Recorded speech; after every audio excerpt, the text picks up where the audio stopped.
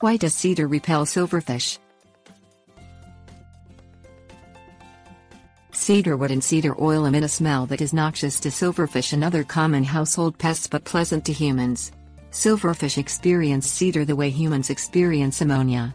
Many closets and bookcases are lined with cedar to discourage silverfish from settling in them. Definition Cedar is a natural insect repellent that helps protect clothing, linens, books and papers from silverfish. Cedar wood and cedar oil are both used to repel silverfish and other common indoor pests naturally. History Cedar has been used for centuries to build chests for linens and important papers. Every home at one time had a cedar chest for fabric and paper items that silverfish and moths like to eat. Closets and bookshelves were often lined with cedar veneer because of its known insecticidal properties. Facts about silverfish Silverfish react to strong smells called pheromones. They avoid pheromones they do not like, such as the smell of cedar.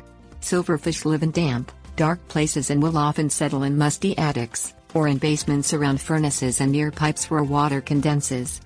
Silverfish eat any kind of starch, including the glue in book bindings paper and natural fabrics like linen, cotton and wool. Other ways to use cedar Silverfish are commonly found in attics that have grown damp due to loose or leaking shingles. Cedar roofing shingles can help to repel silverfish and keep out dampness at the same time. Shredded cedar mulch spread around foundation plantings can discourage silverfish and other bugs from entering the house. Expert Insight Damp Warm houses with stacks of old books and piles of poorly ventilated clothing may harbor silverfish no matter how much cedar is used to repel them. To effectively manage silverfish, keep the home dry and as cool as possible, and store perishable clothing and books in cedar lined chests, cabinets, or closets.